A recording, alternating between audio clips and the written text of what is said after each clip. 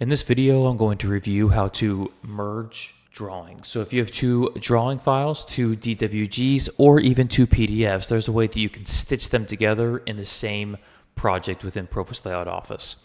So I'm going to show you two ways. Number one is with DWGs, and number two is with PDFs. DWG is much more common, so let me show you that first if that's all you need to do. In Profis Layout Office, I have a project that's obviously blank so far, and I have a job here and a second job here, and I'm going to import a drawing. So I'm going to import my first drawing that I know that I need to start with. So I'm going to import this Demomat V9 that I have into the software. And there it is, right? And I've copied this job down here so I can show you how to import two different ways. So I'm going to import the easiest way first, if this is going to be applicable to you. And the easiest way is to simply go to Import, Drawing, and you're going to select the yes to the merge option. And I'm going to find the drawing, this mirrored drawing that I want to import with this. I'm going to say import this one. Now, here's the this is why this is the first way. When I import it, it's going to ask me, do I want to merge this drawing in its original position? And all this means is in AutoCAD or whatever drafting software that was that these drawings were made in, these drawings obviously are made on some sort of coordinate system. And what I mean by that is, let's say that this is the zero, zero coordinate of your drawing. Obviously, this is your positive north of the drawing, positive east of the drawing, etc. If these drawings were made on that same coordinate system, if I bring a drawing in its original position and these drawings were made together um, on the same coordinate system, well, this, the new drawing I bring in should fall right into place of where it's supposed to be on this coordinate system. Let me show you what I mean. And if this works for you, great. If it doesn't, there's another way you can do it. So let me show you. So I have another drawing that's simply a mirror of this drawing, and they mirror along this line in AutoCAD. That's how I drew it. That's how I made it. And obviously, this is on a much smaller scale than what you might be experiencing, but the button pushes and the principles are the exact same. I'm just keeping it simple. So I'm going to go ahead and say merge with its original position, and I'm going to say OK.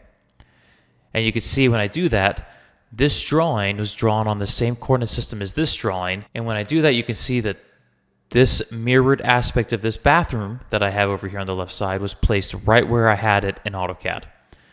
That's the position I had in AutoCAD. I drew this in one position, this in another, and all I told it to do is to just place it right where it's supposed to be on their coordinates, and it did.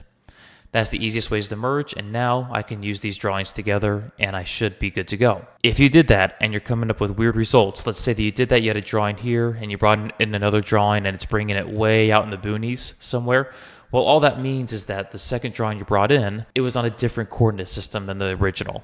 That does not mean you can't merge it, it just means you need to do it a different way. So let me show you the second way that you can do a merge with DWG. So I have my copy drawing down here, same drawing, um, I'm going to do the import uh, function. I'm going to say yes to merge, bring in that mirrored file that I have. But this time, I'm not going to select this merge in its original position. And when I do that, it's going to invite me to tell it where to put it. So I'm going to say OK. And you can see I have this little icon here to tell me where to put it. So I'm going to go ahead and just kind of go over here and put it right here. Now I know that this is the incorrect position. But once I place it in the drawing, automatically the transformation function opens up.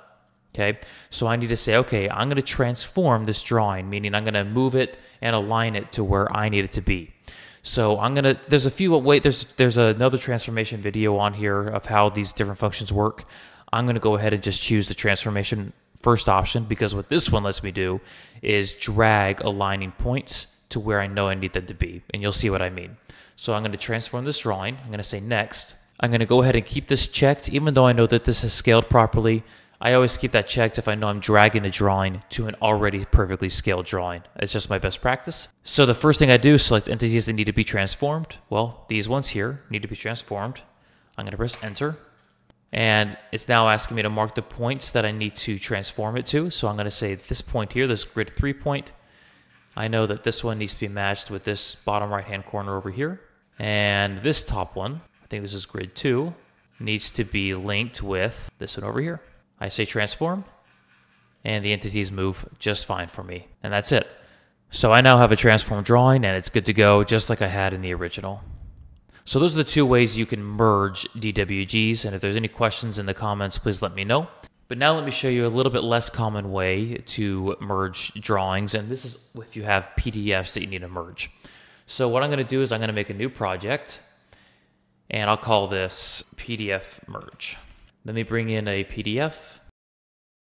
I already have a video on this, but essentially when you bring in a PDF, you want to make sure that you bring it in properly. I'll make sure I link that video in the description, but I'll go ahead and make sure this is scaled properly.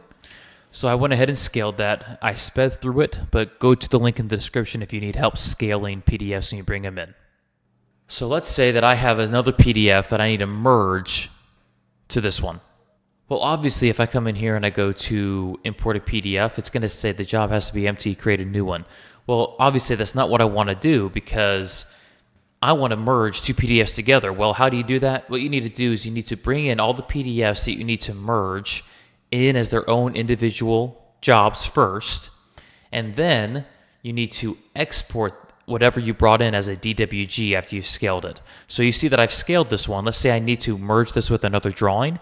I'll go ahead and export this drawing as a dimensions PDF.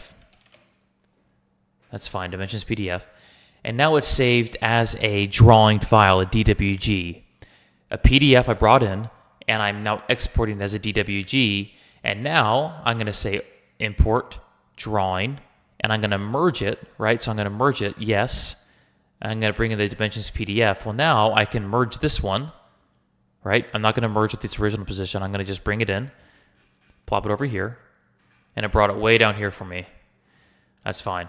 So you see I have this drawing up here that I need to merge it with, and way down here I, I put the other one. So I need to merge this, and I'm going to just simply do the transform function again. Yep. So I'm going to say, yep, I'm going to transform. I need these entities, and this goes with this, and this goes with this. And that is it. That is all I have to do. And it brings it right in. So I hope that helps you understand how to merge. And if there's any questions, please leave them in the comments.